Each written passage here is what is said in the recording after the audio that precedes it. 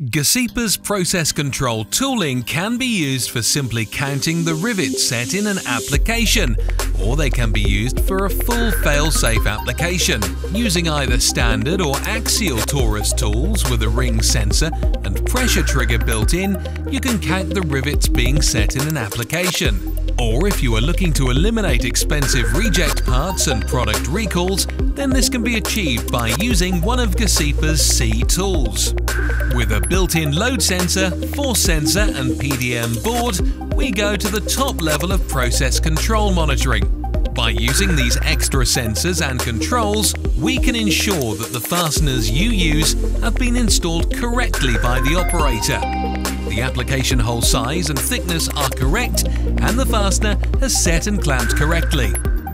For every fastener set, the data is stored on the GESIPA interface with a date and timestamp which can be recalled at any time. Also, GESIPA's full process control tools have the ability to connect to a PLC, which will give you full control of the riveting process in an assembly or automated workstation.